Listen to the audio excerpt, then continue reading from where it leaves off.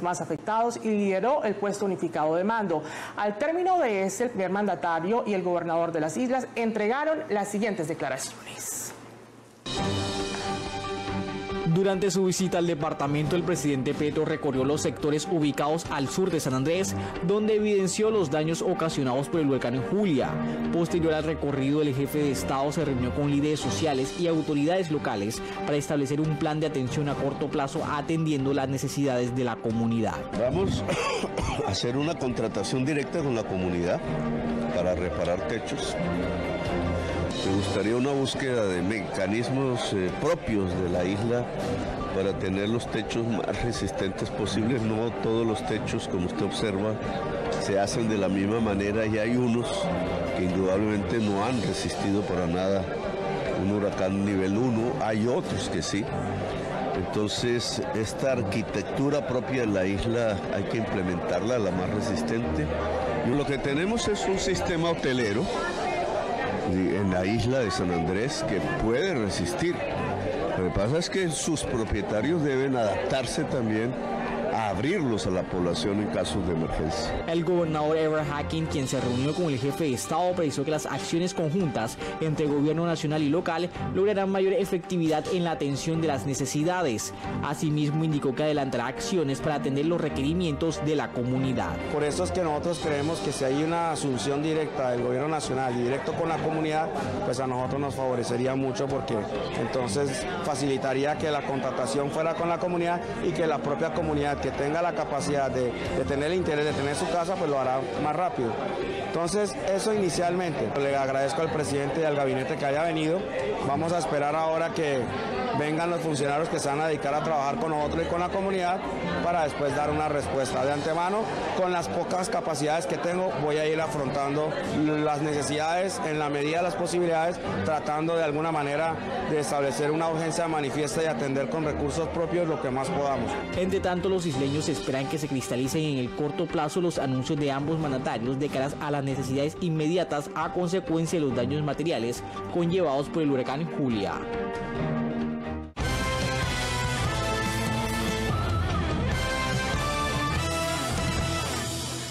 Por su parte, la Unidad Nacional para la Gestión del Riesgo de Desastres entregó un balance parcial de las afectaciones registradas hasta el momento.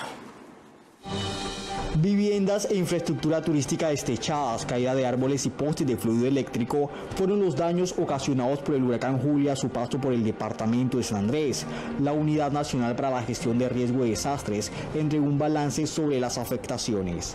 Hasta el momento eh, tenemos un aproximado de 120 familias afectadas, 20 casas eh, afectadas. Eh, en su totalidad fueron casas por afectaciones en sus cubiertas, en sus techos. Eh, esta cifra ha ido aumentando poco a poco ya que estamos en el campo haciendo la verificación y la caracterización de estas viviendas de las que nos han reportado. Hasta el momento tenemos un total de tres viviendas eh, que se han visto colapso total, pérdida total de la vivienda. Eh, por varios fenómenos, más, que todo es por el colapso de, los árboles encima de la vivienda y han dañado totalmente la vivienda. Eh, en cuestiones de, lesiones, la S departamental nos ha reportado dos lesionados, pero esos dos lesionados no tuvieron que ver directamente con los con el fenómeno, sino fueron incidentes por otros tipos. Eh, hemos tenido bastantes caídas de árboles en las vías principales, sobre postes y sobre algunas vías secundarias. Eh, ya hemos recuperado eh, el 80% de las vías primarias, estamos trabajando fuertemente con policía, bomberos, defensa civil, armada, en esta recuperación de estas vías. Las autoridades departamentales precisan que no se registran pérdidas humanas ni casos de desaparición, solo daños materiales en infraestructura de vivienda. Asimismo, reportan que los sectores con mayores emergencias fueron San Luis, Saribey y Distrito 4. En horas de la mañana, el equipo periodístico de Teleislas News también llegó hasta la peatonal. En el lugar, algunos turistas fueron sorprendidos incumpliendo el toque de queda.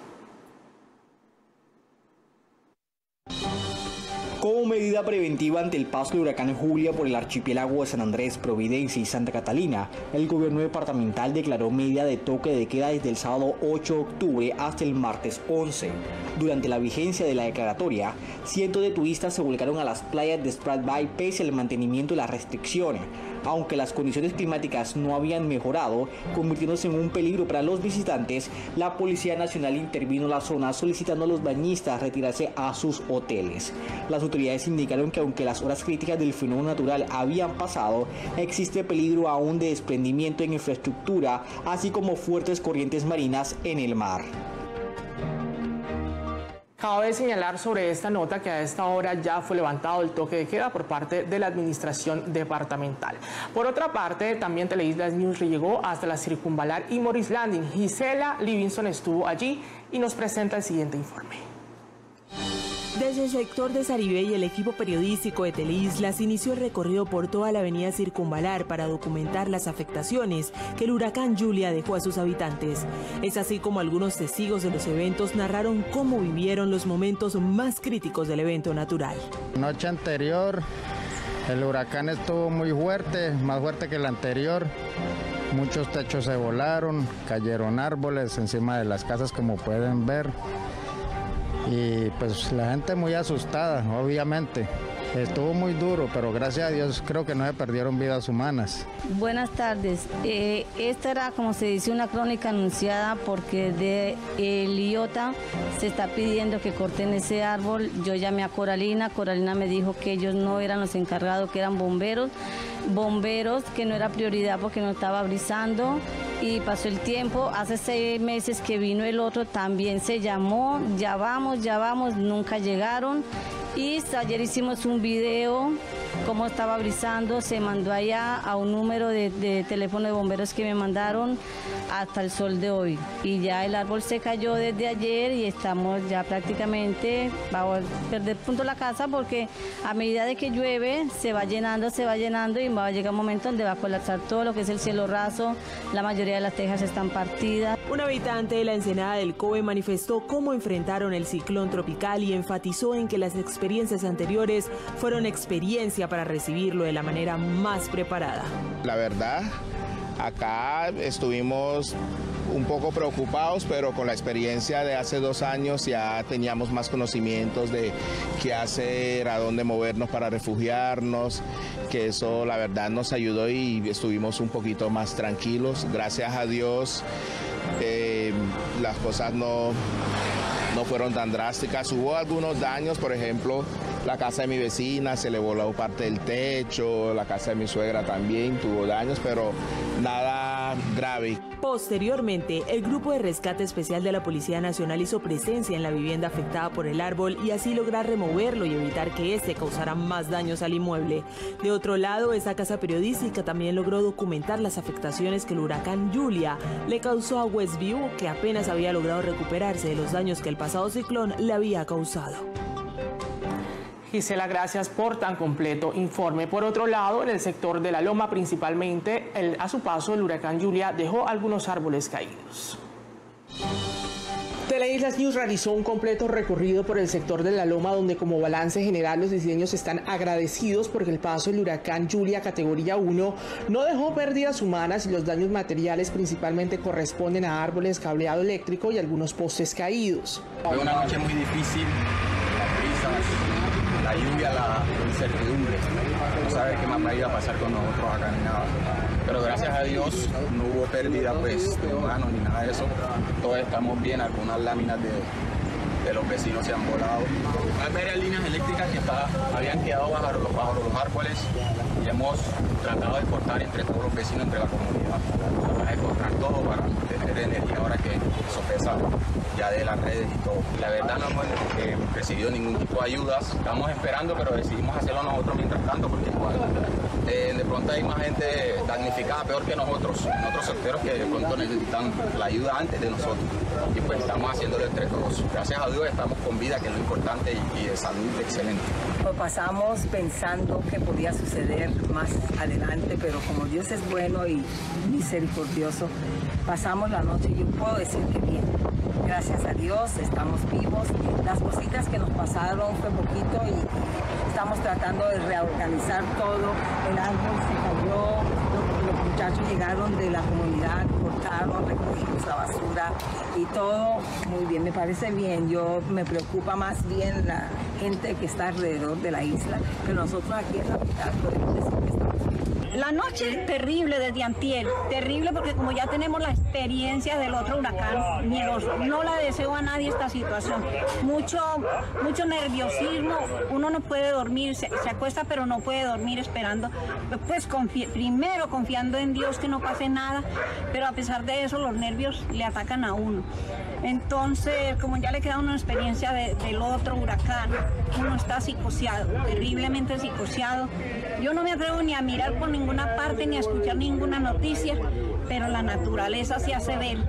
Las emergencias paulatinamente vienen siendo atendidas en algunos casos con apoyo de las autoridades y organismos de socorro, así como también por la mano solidaria de vecinos que se suman para asistir a los más afectados. Desde el sector de la Loma nos trasladamos hacia el Distrito 4, donde también se presentaron importantes afectaciones en las viviendas de los habitantes de allí. El informe es de Jamie Almanza. Uh, muy feo. Teleisla News con su equipo periodístico recorrió los sectores más afectados que comprende el Distrito 4, logrando registrar las afectaciones tras el paso del huracán Julia. Árboles caídos, viviendas destechadas y vías inundadas fue el sello que dejó este fenómeno natural donde los afectados vivieron horas de angustia y de zozobra. En primer lugar, la presidenta de la Junta de Acción Comunal del barrio Natania Quintetapa informó cuántas viviendas en su sector resultaron afectadas. Primeramente, dándole la honra y la gloria al Señor, que toda la comunidad está bien, eh, nadie sufrió ningún tipo de accidentes, pero lamentablemente sí tenemos por reportar 10 viviendas afectadas con su techo. Hasta el momento es lo que tenemos para reportar. Bueno, eh, estamos a, la espera que gestión de riesgos nos colabore, en especial con una vivienda abandonada que tenemos que está causando una grave problemática a las demás viviendas porque esa casa se está llenando de agua y ayer cuando había energía eh, hizo cortocircuito las otras viviendas. miedoso, pues zumbaba todo, caían tejas, eh, volaba de todo, así que no, con mucho miedo, todo el mundo. Estamos recogiendo todos los escombros y, a mirar a ver eh, en qué podemos ayudarles. Son 10 casas que sufrieron pues, lo del huracán. Pérdida total del agua almacenada en cisterna y de enseres fue reportado por uno de los afectados del sector de Natania, quinta etapa. Se me inundó toda lo que es la cisterna porque vienen las aguas de otras cisternas de la parte de atrás de la casa. Necesitamos que el gobierno se ponga al día con, con las alcantarillados porque tenemos niños, hay muchas infecciones en la calle. Ahora mismo estoy sin agua, nada, nada, nada. Todo eso es un charquero de agua, fango, de todo. El sector de Serranilla también reportó viviendas afectadas. Bueno, en el barrio estuvimos todos muy unidos, la comunidad estuvo siempre pendiente de, cada uno de los, que, de los habitantes del barrio. Eh, en un momento pues se presentaron algunas afectaciones en algunas eh, viviendas, pero pues como comunidad pudimos arreglar y podemos estar pendientes para que no pasara mayores. Habitantes del sector de canteras hablaron de la tristeza que les causó ver las fuertes brisas del huracán Julia, que se les llevó sus techos. Esto fue algo eh, sorprendente. Eh, yo vi cuando se me levantó el techo a dos metros de altura. Eh, cogí me dio tiempo de, amarrarlo nuevamente porque lo tenía amarrado. Cuando lo amarro, a los 15 minutos que lo amarro, se me va todo el techo. Eso fue algo impresionante, lo viví, o sea, espero que nadie lo viva. O sea, no, no, o sea, no tengo palabras, ahora mismo no tengo palabras porque esto es algo doloroso. ¿Se quedó aquí en su Sí, yo me quedé aquí, aquí recogiendo lo, mis, herramientas, lo, poco que pude recoger. Muy terrible, muy terrible. Muy fuerte y las brisas soplando y se voló el techo de enfrente y aquí se cayó el tanque y partieron cuatro láminas de ternís. Se nos metió el agua y se nos mojó casi todo acá adentro. Al llegar al sector de Barrot se logra evidenciar el apoyo de la Junta de Acción Comunal que le brinda a los afectados por este fenómeno natural, logrando reparar los techos de los damnificados. En este momento hemos, hemos hecho un barrido sobre las viviendas afectadas y hemos eh, visualizado más o menos entre 15 y 20 casas afectadas. Hay unas que fueron unas poquitas tejas, otras que fueron la mitad del techo y otras que, en verdad necesitan el techo completo. Un momento de desespero que pensé que no iba a alcanzar a, salir de la casa, pero gracias a Dios pude, pude salir y no me pasó nada, ni a mi hija que estaba aquí conmigo. Recibí apoyo de una vecina y después el nieto mío me vino a buscar y me llevé donde mi hija. Todo el techo, muchas cosas se me, se me mojaron, pero todavía no tengo idea que si alguna cosa se dañó en verdad. Se destaca que los sectores del Distrito 4 se unieron para tratar de ayudarse entre todos y así poder mitigar un poco los daños que causó el paso del huracán Julia por el departamento.